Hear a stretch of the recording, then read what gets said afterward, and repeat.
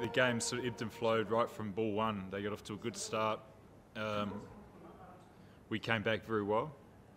And our bowling, like it has done all season, hung really tough. We, uh, we restricted them to what we thought was a very good score.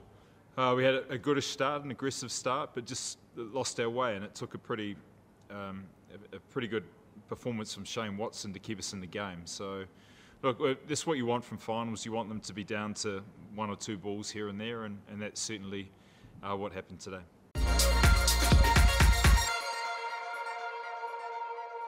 You just got to put it down to Malinga nailing the last over. He went for a lot of runs the over before. He changed tactics and just delivered under pressure. So that's um, that's really what it came down to. It was it's that close, and um, yeah, we'll, we'll, look back and I'm sure there are things that we could do better. They could have done better as well. There's drop catches, a couple of drop catches on both sides, but um, it's a fitting end to a final. I just wish I was on the other side.